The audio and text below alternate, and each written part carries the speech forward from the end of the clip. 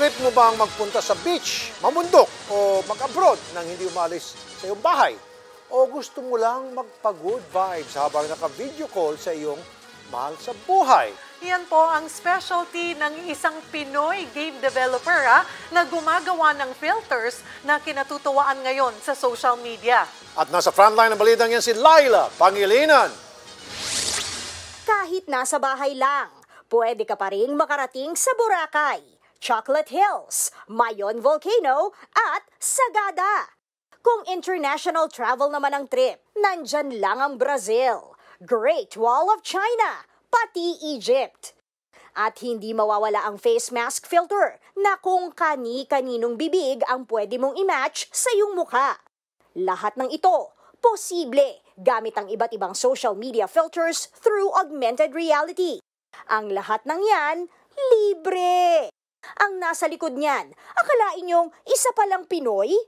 Siya si TJ Hamlang, isang virtual reality at augmented reality game developer.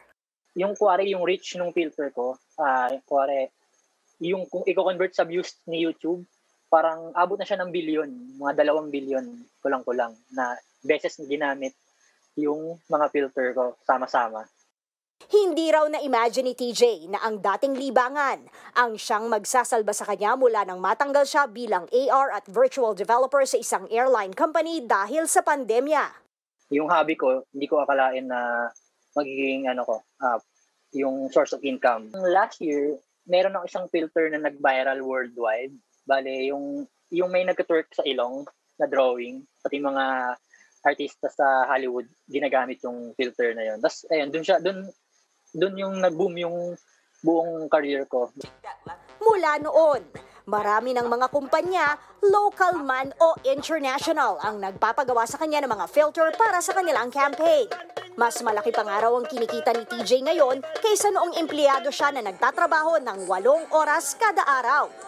Nag-range yung mga filters sa 50,000 and above, maabot ng 100, 200,000, based sa complexity kung sobrang hirap. Parang naging blessing in disguise siya kahit pandemic. So, ah, mas naging, ah, mas, mas nag-growth ako, mas ah, naging stable ako sa financially. Pati nga Facebook, napabilib ni TJ. Napili din ako sa ng Facebook as ah, Spark AR partner, parang partner nila sa paggawa ng mga filters. Uh, balit, ah, tatlo lang kami sa Pilipinas nakasali. Hindi rin madamot si TJ na i-share ang kanyang talent. Pag may nagtatanong naman po, ah, tinuturuan ko naman din. Feel ko pagka, kuwari gumawa ako ng mga tutorial, pwede kong maiangat yung quality ng mga gawa ng mga ah, sa Pilipinas. Saka ma- mapadami natin yung mga creator dito. Marami pa raw cute, kenkoy, at mga nakaka-GV na filters na gagawin si TJ. Pero ngayon pa lang, may isang daang filters na siyang nagawa na mae-enjoy ng libre sa social media. Pwede kang mag-time warp. O kay TJ mismo magpayakap. Ay, ikaw pala yon! Nagbabalita mula sa Frontline. Laila Pangilinan, News 5.